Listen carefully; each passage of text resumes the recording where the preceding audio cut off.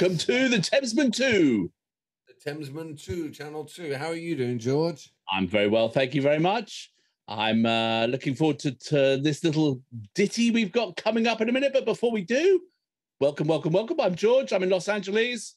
I'm Alex. I'm up in San Francisco. Channel Two is our sister, si- our sister, our sister channel to Thamesmen One, which is our main reaction channel. But this channel, we have the privilege of choosing tracks ourselves, and that's why we've locked ourselves into In the the, basement. basement. of into the basement of despair.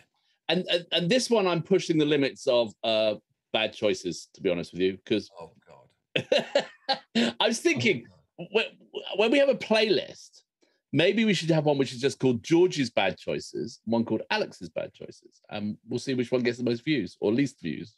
How about No, we don't have to do that. We can see which videos get the most views. Your videos are shite. Not always, not always, but okay. I, I I I look for things which are a bit different. That's all out there. So anyway, this is a band that a lot of you will have never have heard of because Oh, surprise, surprise on that one. you know what I mean? Why have we never heard of them? And let me think, are they because they're so unbelievably good at their instruments? Is it they are so good songcraft crafters, or uh, is it see they're shit? let me let me tell you a tale of a band formed in England in 2008 who focused their music around steampunk. So you talked about post-punk, we're now talking steampunk here. This is steampunk, uh, kind of a bit of bit of punk, steampunk, grindcore kind of music. Uh, it's a two-minute pop song, a punk song. This one, it's it's it's but but they they base their songs around the Victorian era, and and they're used as Oh, but George, if you put all these ingredients in the cake, you know what you're going to end up with. it's awesome. Trust me, just bear with me for this. You know what, George? You know what? I I've think I do this of on I've do, no, I've been doing a lot of meditation recently, and it's all about living in the present and accepting this. So, George, you've got a clean slate. you said trust you. I will trust you. You said it's awesome. It is. It should be awesome. If it's not awesome, you're off the channel it's again. It's, it, but it, the interesting thing, okay, so the band is called The Men That Will Not Be Blamed for Nothing, which is an interesting name to start with. All right, and now that is just like, can you? They're in that. They're in. They're all sitting room, and one of them go, "I know." Let's do it around steampunk in Victorian era, and the other one came up with goes, "Let's call it the men who will not be blamed for nothing," and they went, "Brilliant." Do you know why it's called that? Um, because something to do with building of the bridges. Uh, no, no. The, the, the men that will be not blamed for nothing. I'm going to read this so I get it right. Uh, the reference is, is some, to some graffiti that was discovered above a section of blood-stained apron thought to have been discarded by Jack the Ripper. How cool's that? Did I ever tell you? This is absolutely true. This is absolutely true. You know, when I lived in Whitechapel, Yeah, yeah, and you know, I lived at the top of that school building. yeah. Did you ever go there? That I don't think I ever went there. Well, uh, it was a, a beautiful old, really, it was an old converted school. It was in the middle of Whitechapel, and Jack the Ripper did his murder, one of his murders. Long, tall Sally, I think it was. And she was only about four foot nothing, but she was tall for those days. And she was murdered at the bottom of our building. So every Sunday morning, I'll be in bed and, uh, you know, I'll be really hungover. And the guide tour would come around and he would say, oh, this is where Long Tall Sally was murdered, right? So after about the third or fourth time, I'll be going, every Sunday. So I did this for about a month, and I was really looking forward to my death curling gurgles. And on like the fifth week, I could just hear it. He'd moved the tour party to another building further away, and I was like, "This is where she was murdered." So I know he actually just bullshitted the tourists and moved them away, so they didn't have to have my theatrical reenactment. Ah, that's brilliant. That's awesome. I know everything about Long Tall Sally. She was, only, she really was. She was only about four foot nothing. Okay. But Well, anyway, so so this is this, this is a link. This is a link. You see, and this so this is part of that Victorian era of mystery and and steampunk. Uh, and but the song the song is called Brunel, and it's about English hero Isambard Yes. Kingdom Brunel, and who has a link to the Thames and the Thames men He does. Yes. because he built the Great Western Railway and all those bridges all that go through bridges, Goring.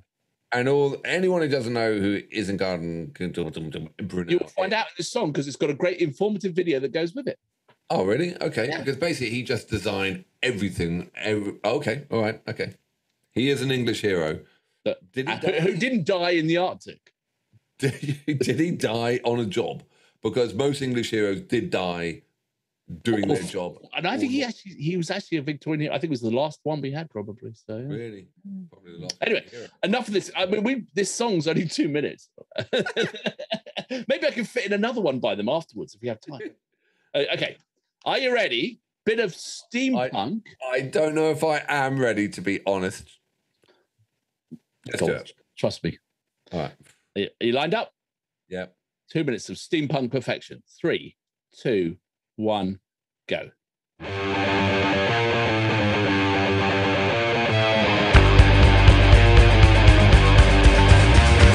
Standing in the Thames, rather eyed, wondering how to get to the other side. When up pops a bloke with a stovepipe hat. I'll do you a tunnel under that. I looked him up and down and then replied, Yeah, lot of men tried, lot of men died. Yeah, well, I'm not a lot of men. So he built me a tunnel and he built it well. He was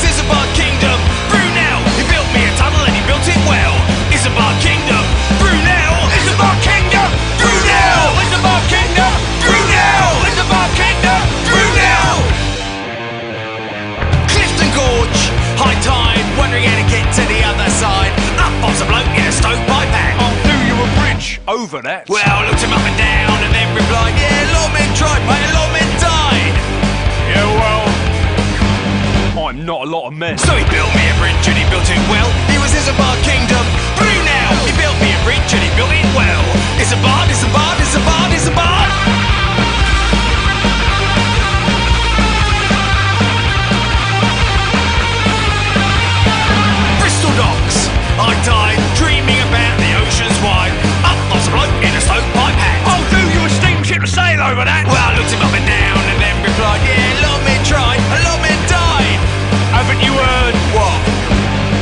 not a lot of men. So he built me a steamship and he built it well. He was Isambard Kingdom, Brunel. He built me a steamship and he built it well.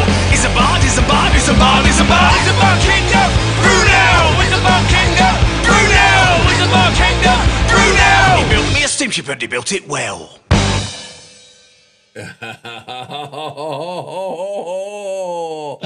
oh, you know what? You're like that trendy history teacher. You know that brings the guitar into the into the class. Who used to be in a punk band but now teaches history to 15 year olds, and he's written a song. Did wasn't it brilliant though? Wasn't it a perfect steampunk two? It it it actually was informative and fun. and fun. Exactly. It's not. Yeah. And now, now, if anyone would like to hear any more of the band, they've got some other great tracks which are a bit more allegorical about today's society, but based in the Victorian era. So that's kind of interesting. Well, I've left you speechless. Brilliant. a lot of men tried, a lot of men died. A lot of men died. I like that line. Um, yeah, that